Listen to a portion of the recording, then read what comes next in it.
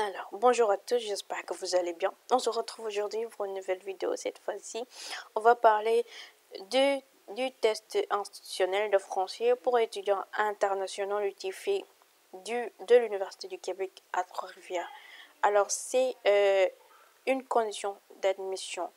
Une condition d'admission pour pouvoir euh, commencer officiellement les cours dans votre programme d'études une fois que vous serez au Canada. C'est une condition d'admission. Peu importe qui vous êtes, peu importe d'où vous venez, mais c'est l'une des conditions euh, d'admission pour l'Université du Québec à Trois-Rivières. Ça peut être aussi l'Université du, Québec à chez Cotonou, mais la plupart des universités vous exigent un test de français organisé par l'université elle-même ou même le CEGEP peu importe, mais la plupart des établissements euh, canadiens, des établissements canadiens, vous exigent un test de langue. Et là, on va parler du TIFE, organisé par l'Université du Québec à Trois-Rivières. Et là, vous dis que là, veuillez prendre note que des prochaines dates de passation du TIFE, je vous appelle de TIFE pour l'admission à l'UQCR. La prochaine période de passation du test en ligne aura lieu du 1er au 16 décembre 2022. Il faut toujours prendre compte des dates de passation, des périodes de passation, parce que c'est une période. Alors là, ils vous disent du 1er au 16 décembre, c'est-à-dire que peu importe si vous le faites le 2, le 3, le 4, le 5, le 10, le 14, mais ce sera possible du 1er au 16 décembre 2022. Et le test se fera en ligne. Donc, vous pouvez être chez vous, euh, en France, euh, en, Russie, en Afrique, peu importe où vous êtes, et vous le faites en ligne. Et là, ils vous disent période d'accès du 1er décembre à 8h30 jusqu'au 16 décembre à 14h. Et là, c'est heure de Québec. Et là, ils vous disent que le lien cliquable pour la création du profil est maintenant visible dans votre portail étudiant. Là, vous aurez un portail d'étudiants. Normalement, quand vous êtes admis à l'EQTR, vous avez un compte portail étudiant, un compte nom d'utilisateur et tout ce tralala là. Alors là, ils vous disent les prochaines dates de passation du TIFI en ligne pour, pour 2022-2023 la preuve du 1er au 16 décembre 2022. Ensuite, il y aura une autre période du 5 au 12 janvier 2023. Ensuite, notre période du 7, 8, 9, 7, 8 et 9 février 2023. Ensuite, il y aura une autre période 14, 15, 16 mars 2023. Ensuite, il y aura 4, 5, 6 avril 2023. Ensuite, il y aura 9, 10, 11 mai 2023. Mais la période la plus longue, là vraiment, c'est du 1er au 16 décembre. La plus longue. Alors, Là, ils vous disent qu'assurez-vous de faire le processus de paiement au complet en une seule fois. Vous ne devez pas revenir en arrière après l'acceptation de conditions de l'activation du bouton transmettre. Alors là, ils vous disent qu'assurez-vous de faire le paiement du test au plus tard le jeudi 15 décembre 2022 à 23h59 heure de Québec. Et là, ils vous disent que créez votre profil. Euh, l'étape 1. Étape 1, c'est créer votre profil. Alors là, ils vous disent que la première étape consiste à créer votre profil unique d'utilisateur. Ce profil est obligatoire pour la passation du test de français et ses différentes parties. Le code d'utilisateur correspond à votre code permanent. C'est votre code permanent. Alors là, votre code permanent, ça y est sur votre lettre d'admission normalement. Alors, la création du profil se fait par l'intermédiaire de votre portail étudiant la création du profil. Vous allez sur votre portail étudiant, vous cliquez sur dossier universitaire, vous cliquez sur admission, et là vous cliquez en bas test TIFE. Et là vous créez votre compte directement. Alors là, étape 2, ce sera d'effectuer le paiement. Là, ils vous disent que le test français TIFE. Euh, pour le test, vous devez remplir le formulaire de paiement et d'effectuer le paiement. Euh, le un courrier de confirmation vous sera ensuite envoyé ils, vous, ils acceptent le paiement par carte, euh, crédit, Visa, Mastercard. À chaque fois, je vous le dis, pour les conditions, que ce soit pour l'admission euh, dans une université, que ce soit pour faire les paiements pour euh, les tests, comme ce genre de test là, que ce soit pour la demande de CAQ, la demande de permis d'études, à chaque fois pour le processus de demande d'immigration pour le Canada, à chaque fois vous avez besoin d'une carte de crédit. À chaque fois, vous avez besoin d'une carte de crédit. C'est très simple. Si vous n'avez pas de carte de crédit, vous demandez à un proche de vous payer les frais. Alors, le formulaire de paiement est maintenant accessible. Et là, vous cliquez ici pour voir un peu le formulaire de paiement. Alors, on continue. Là, vous dites de tester votre clavier avant de faire le test. Vous devez devoir votre clavier pour voir un peu s'il y a tous les, euh, tous les caractères, s'il y a A, A, accent avec majuscule. Là, vous vérifiez. A, par exemple, on va voir ici. A, non. A. Là, c'est pour vérifier si euh, vous avez tout, toutes les lettres. Alors, A majuscule, je sais pas comment l'écrire, on va voir un peu ici. Hum. Non, c'est pas ça.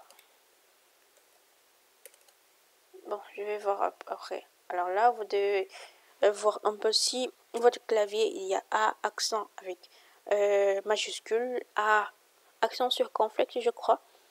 A accent circonflexe majuscule, E accent aigu, E accent aigu avec majuscule, etc. etc. Là, c'est pour voir un peu si, en fait, euh, en commençant le test, vous n'aurez pas de problème euh, en écrivant ce genre de lettres-là. Alors, on va continuer. Alors là, étape 3, c'est d'accéder au test. Alors, veuillez consulter le tutoriel avant la passation du test. Alors là, une fois que vous avez effectué le paiement et testé votre clavier, vous pouvez accéder au test. Maintenant, le test en ligne sera accessible à partir de 8h30 le jeudi 1er décembre euh, jusqu'à 14h le vendredi 16 décembre à Québec. Les deux parties mm, du test ne seront plus accessibles après 14 heures le vendredi 16 décembre. Assurez-vous d'accéder à la première partie du test dicté. Alors la première partie c'est dicté. Euh, la deuxième partie je crois ce sont des questions. Texte suivi des questions, je crois questionnaire d'évaluation, je crois. Alors, euh, partie du test dicté le plus rapidement possible afin de respecter le temps imparti. Alors là, il vous dit que veuillez lire attentivement le message qui clôt la deuxième partie du test et prenez le temps de remplir le questionnaire d'auto-évaluation des compétences en français. Prenez note que le soutien technique est disponible seulement durant la journée. Si vous avez des problèmes techniques avec votre machine, etc., vous pouvez euh, envoyer un mail directement pour avoir un peu d'aide. Alors là, vous devez accéder à votre résultat. Là, vous pouvez accéder à vos résultats 3 à 4 semaines suivant la passation du test. Je rappelle que ils vous disent toujours que le test ne peut être passé qu'une seule fois. Et là, je crois que c'est pas, c'est pas trop difficile. Hein. Dicter, texte, des questions avec texte. Là, c'est pas très, très. Alors, on va voir un peu le tutoriel avant la passation du test. Là, vous dites, veuillez lire attentivement le tutoriel pour réaliser réalisation du TIFI en ligne avant la passation du test. On va voir un peu ce tutoriel. C'est un document PDF. On va voir un peu pour voir. Euh, alors, hmm dans le test institutionnel de français pour étudiants internationaux tutoriels pour la réalisation du TUFI en français en ligne. Alors euh, là, on voit que première étape, ce sera de vérifier le matériel et les configurations euh, requises. D'accord, vérification automatique, diagnostic, configuration requise. On voit un peu si, euh, par exemple, si vous le faites par téléphone, par ordinateur, etc., si tout va bien. Deuxième étape, ce sera la lecture des consignes. L'information relative au test est disponible à l'adresse là. Elle est très importante sur toutes les étapes directes décrites sur la page d'accueil avant d'accéder au test. Troisièmement, ce sera de créer, de créer votre profil à partir de votre portail étudiant. La quatrième étape, ce sera d'accéder au paiement. Cinquième étape, ce sera de tester votre clavier. Ensuite, euh, deuxième section, ce sera étape à réaliser lors de la passation du test. Alors là, pour accéder directement au paiement, vous mettez votre code d'utilisateur. Code d'utilisateur, ils vous disent que c'est le euh, code permanent. Ensuite, le mot de passe, ce qui vous permet en fait de payer en ligne.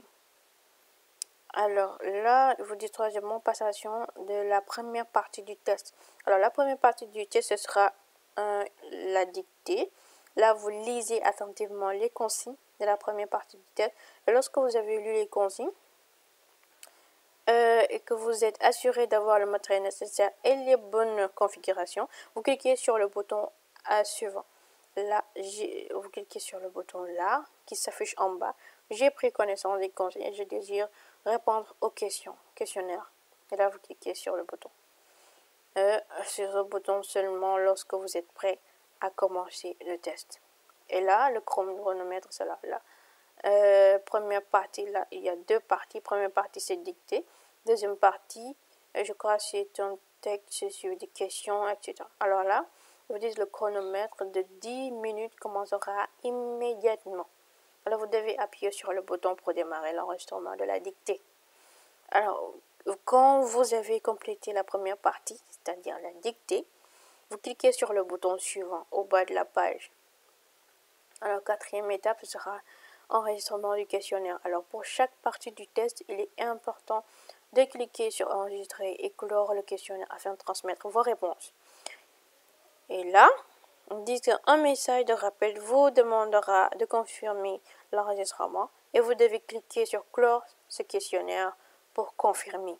Et là, là, vous pouvez retourner au questionnaire ou là, vous clore le questionnaire pour pouvoir envoyer, transmettre vos réponses. Ensuite, cinquième étape, ce sera le retour à la page de profil. Là, lorsque vous avez complété et transmis la première partie, le message suivant vous invitera à retourner à votre profil pour commencer la seconde partie du test de français. Alors là, sixième étape sera accès à la deuxième partie du test. Et là, c'est plus sérieux. La deuxième partie du test.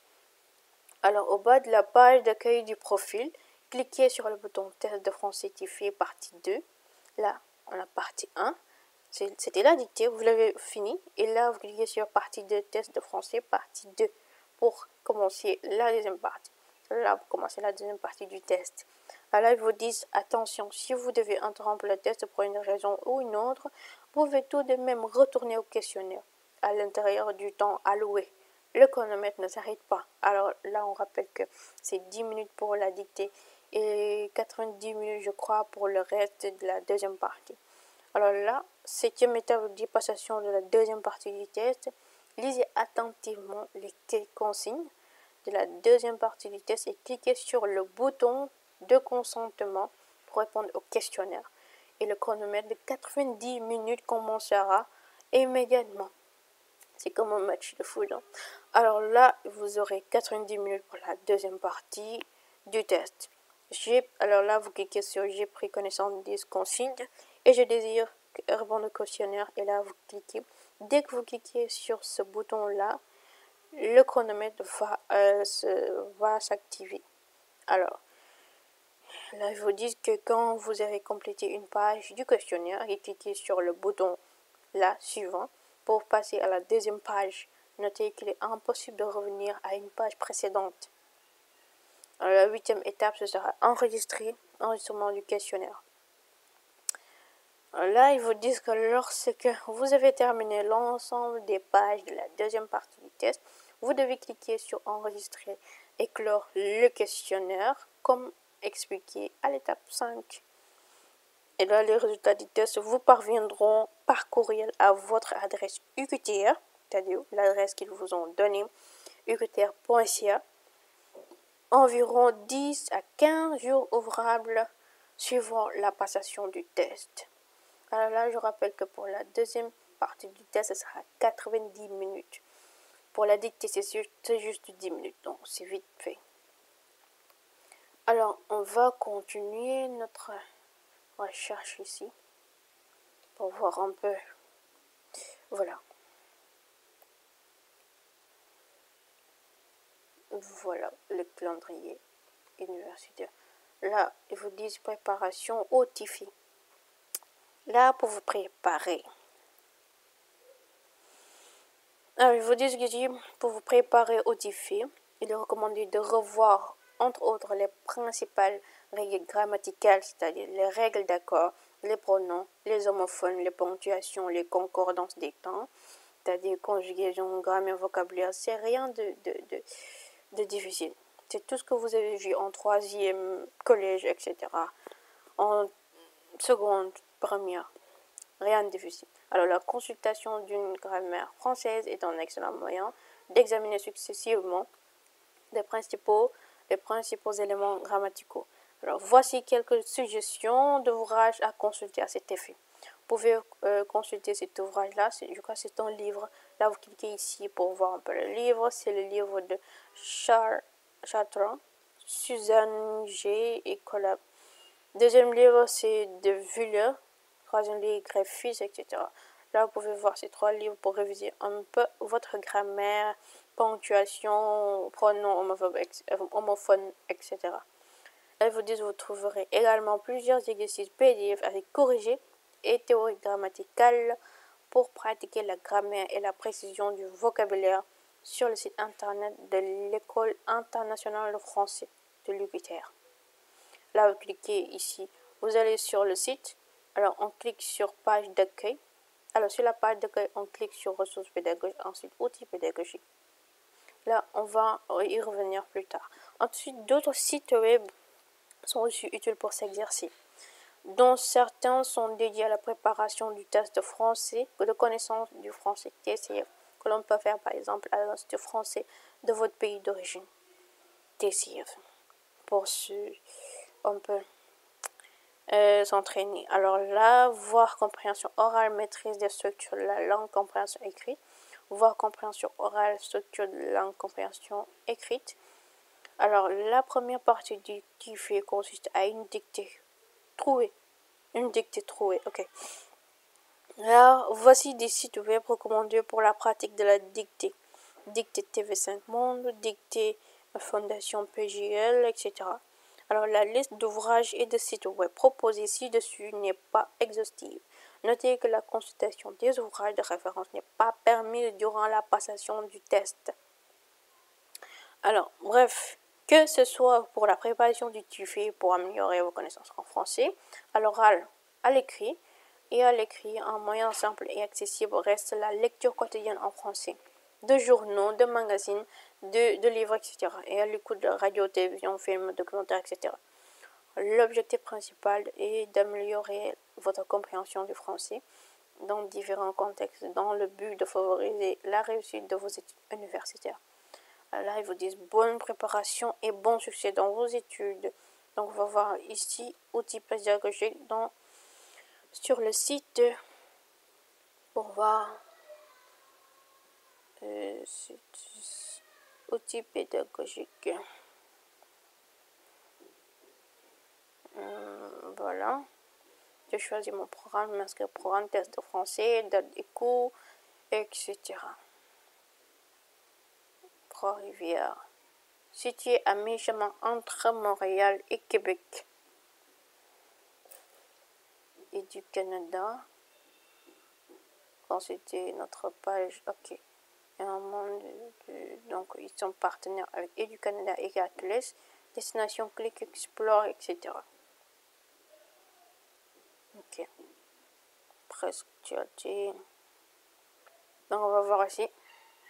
Ressources pédagogiques comme ils l'ont dit. Et là on clique sur outils pédagogiques. Niveau débutant. On va voir niveau débutant.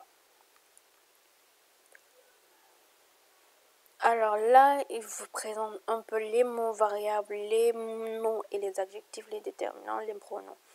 Alors, le matériel présenté a été produit par les enseignants de l'école internationale de français.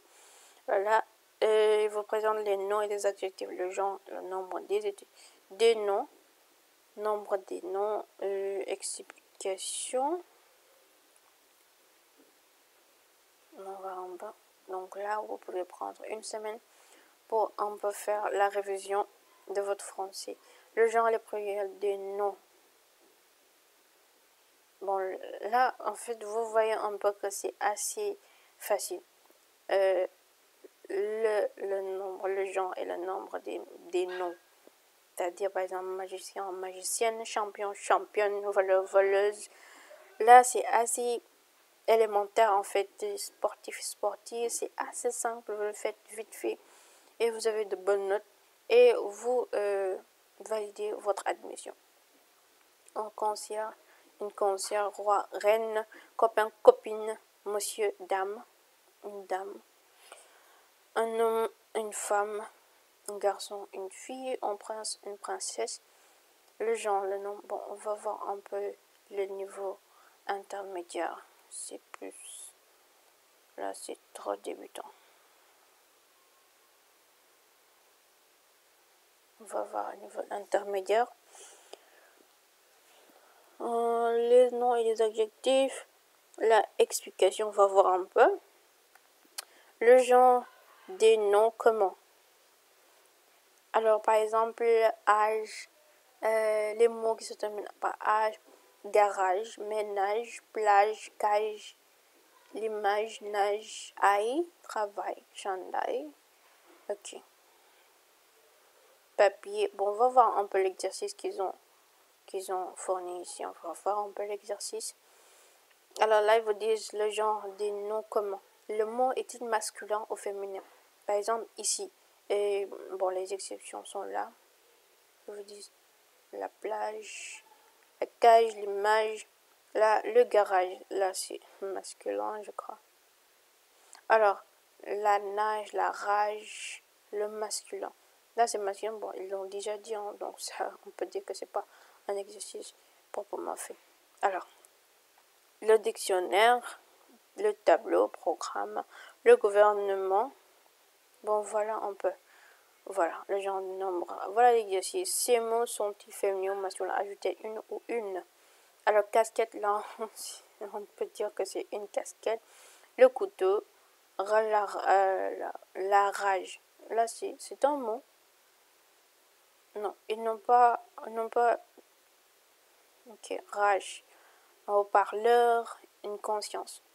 On soupçon la police, la squelette une promenade, un laboratoire, la karaté, le parlement, la princesse, etc. etc. Là, c'est assez simple. Vous voyez la confiance, le calendrier, la gamme, la présence, la parade, la, la paresse. Euh, voilà. Bon, il vous dit une. Donc, c'est une paresse. Une. Une dizaine, une célébration, un cendrier, etc. On va voir niveau avancé pour voir un peu. Les mots variables, la phrase. Là, ce sont des exercices en B. On va voir la phrase, les formes de, de phrases, les formes de phrases, explication, la phrase négative et la phrase euh, affirmative, la phrase une D devient deux à la forme négative, donc des articles. Un, une D devient deux à la forme négative. Alors, est-ce que tu manges un biscuit? Ils vous disent ici oui, je mange un biscuit. Non, je ne mange pas de biscuit. Là, c'est la phrase négative. On va voir en bas ici l'exercice. Erreur. Donc, ça ne marche pas ici. La phrase passive, la voix active, la voix passive. Ça me rappelle un peu l'anglais. Active voice, passive voice. Bon, les exercices pour ce, ce niveau-là, c'est pas encore. Alors, on va voir ici le test texte, compréhension de texte, explication, texte québécois et narration. Ok, acte sécurisé, euh, étudiant de l'écriture. Alors là, si vous êtes membre de l'intranet, alors en effet, tu es étudiant de l'écriture, on clique ici. Donc, pour accéder au test texte, il faut entrer votre code permanent, etc. Alors là, on va cliquer ici pour voir un peu l'autre partie, là, le français parlé. Le verbe, on va voir un peu le verbe. La conjugaison, bon, le passé, passé surcomposé, le futur antérieur, concordance des temps au futur. On va voir un peu explication. Voyons un peu que c'est pas c'est pas difficile le test qu'il vous propose euh, pour le TIFE. Alors là, le futur simple est formé du verbe à l'infinitif et des du présent et, et, on. Alors, donne, je donne, donnerai, donnera, donneront, rentreront. Il exprime une action future. Oui, voilà. Futur antérieur, tu auras donné. Ils seront rentrés. Voilà. Assez simple. Ça me rappelle un peu les leçons en classe de classe de quatrième, sixième, etc. Alors, on va voir un peu exercice. Bon, ça marche pas l'exercice, mais vous pouvez trouver des exercices déjà faits et leur corriger sur le net dans d'autres sites comme Maxi, Maxicourt, je crois, ou le site Cartable. Il y a d'autres sites, le mode conditionnel. Conditionnel, si, si. Mais on va voir si. Le conditionnel, si. Savez-vous le conjugué J'aurais un gentil maître? Ok. on sait tous que la différence entre le conditionnel et le présent, c'est que le futur, c'est-à-dire qu'on dit que tu auras, mais là, pour le conditionnel, on dit tu aurais. Pour le futur, on dit tu auras, il aura. Mais pour le conditionnel, il faut dire tu aurais, il irait. Voilà la différence, la seule différence entre le conditionnel et le futur. Vous voyez que c'est assez simple. Appeler, il appellerait, nous jeterions, euh, vous vous essuierez, s'essuieriez, j'achèterai, promènerai, congelerai, laverions, etc. C'est assez simple. Ces euh, exercices-là, donc si c'est ça qu'il vous donne au test de français, vous pouvez être tranquille. Vous pouvez être tranquille, c'est que c'est pas difficile. Et ça, c'est pas du tout difficile. Pas du tout. Alors, on va voir test de français ici. Pendant dans une institution, donc on exige une connaissance suffisante du français. L'obtention de la citoyenneté. Alors là, ce sont les différents tests que les étrangers vont faire pour euh, accéder à l'immigration au Canada. Alors là, on a d'abord le TCF ou le TEF. On a le TCF Québec, test pour l'obtention de la résidence permanente. Si vous faites vos demandes de résidence permanente, vous devez faire le TCF Québec. Vous devez faire le TCF Canada pour c'est un test pour l'obtention de la citoyenneté canadienne. Alors pour le TIFE, c'est le test institutionnel de français pour étudiants internationaux. Il y a différents tests. Alors là, on peut voir que le Québec veut euh, conserver le français puisque c'est la seule ville nord-américaine qui parle 100% français. Et là, c'est un peu français dans un monde anglophone. C'est pourquoi ils font tout pour euh, garder leur culture française, leur langue, leur culture québécoise, etc.